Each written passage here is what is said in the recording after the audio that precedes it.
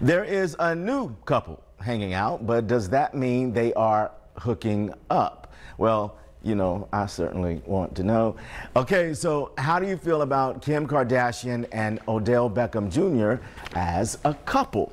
Well, the two could be on their way to becoming a thing if they aren't already. Word on the street is that the footballer and his steady and mother of his child have, you know, they've gone their separate ways. Splits be over them.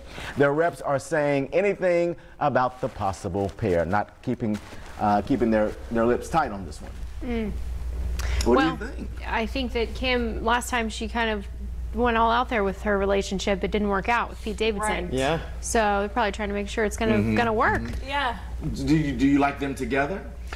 I don't know a lot about him, but I know he's a football player. Um, I don't know. Football He, player, yeah. he recently had a baby um, with someone who he seemed to be very in love Mm-hmm. with. So I'm confused because I thought he was still with her. Um, but, but maybe apparently not. I don't know. Yeah, it, it says they split. So we'll see. I'm, I'm gonna I'm gonna stay on top of this because I want to see where this goes. All right, I'm Yeah, sure you'll have all the keep skinny us for us. updated. Yeah, definitely. right. Our time is 8:34 on our Wednesday, and Chief Meteorologist Nicole Madden